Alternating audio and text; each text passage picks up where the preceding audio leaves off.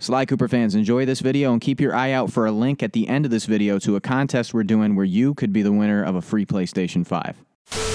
Since we celebrate the ever so underrated, almost cult classic Sly Cooper franchise in this corner of YouTube, let's look at maybe one of the major key reasons we have such a deep appreciation for the series, both from a story and gameplay perspective the proper, exciting, and ever so unique evolution of the game's supporting characters, Bentley and Murray. In the original Sly Cooper, you're introduced to these characters as supporting cast for the game's story. Even then, their integral role in the assistance of every level is made known as the importance of teamwork teamwork in calculated heists is clear in the narrative. Count on me to be your eyes and ears, buddy. Got their security system totally scoped. To get inside, you're gonna have to go through that air vent. To get inside that thing, you had to steal all seven of Raleigh's treasure keys. Dial in 314. All you gotta do is grab the file and get back to the van.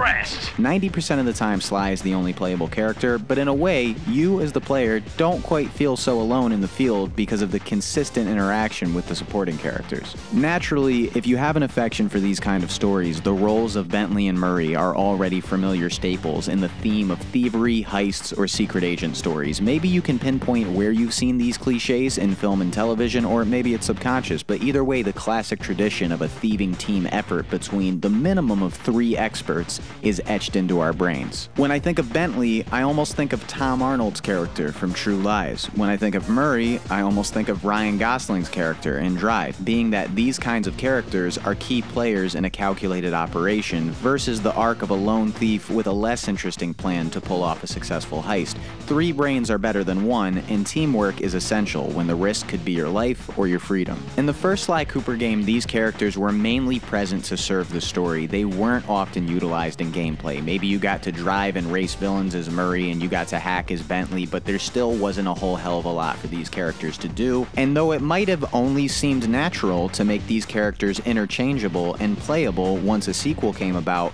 I still never quite wished that Bentley and Murray were playable more often while experiencing Sly 1, if you know what I mean. But only one level in the Sly 2, I find myself realizing that these are two characters I never really knew I desired to play as, and am so happy that they are now playable characters. As is the issue with many other games, there was the chance that playing as all three of these characters might not have been as fun. You know, like with other games, there's oftentimes you can control multiple characters, but this character's mechanic sucks, and this character gets you killed too easily. This character I prefer to use because he has superior moves to the other playable characters, but it wasn't like that at all. It was amazing to find that playing as Sly, Bentley, and Murray is equally satisfying for different reasons, which I take for granted sometimes, but recently thought back and realized that there aren't many games where I want to be stripped from playing as the main character to temporarily control a supporting character. I just don't usually enjoy that, and I usually don't find the supporting character as fun to control.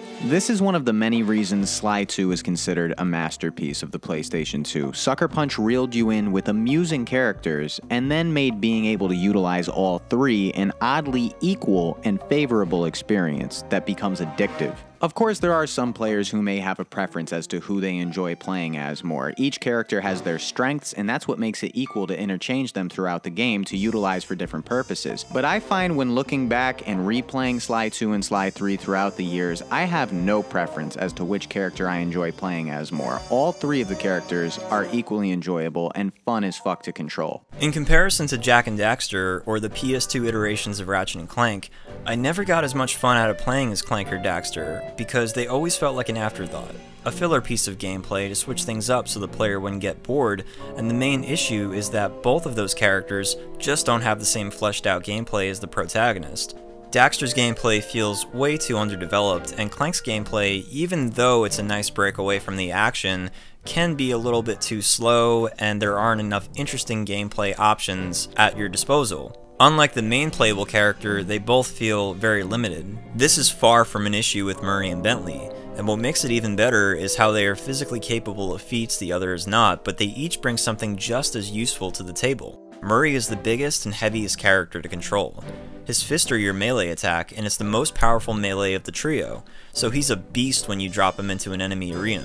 Whereas Bentley is the smallest and lightest character for a quiet approach to the combat. One is a straight up brawler, and the other relies on his stealth based weaponry. And the biggest takeaway is that they don't try to surpass each other. They're both equally as capable of making the gameplay more engaging in their own interesting ways when playing as Sly gets old. What I truly love the most about playing as Bentley and Murray is how their gameplay styles tie directly into their character arcs across the trilogy. In the first, Bentley and Murray aren't yet capable of performing on the field.